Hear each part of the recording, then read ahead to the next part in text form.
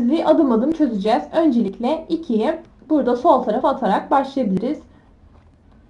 3a artı 2 bölü 2a artı 1 eksi 2 küçüktür sıfırdan payla paydayı şurada çarptığımızda 3a artı 2 eksi 4a eksi 2 bölü 2a artı 1 küçüktür 0.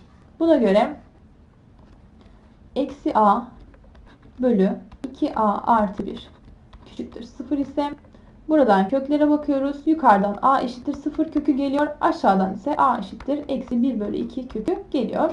Tabloda yerleştirecek olursak eksi 1 bölü 2 ve 0'ı işlemimizde eksiye artı işareti olduğundan sağdan eksi olarak başlayacağız. Eksi artı eksi olarak gideceğiz.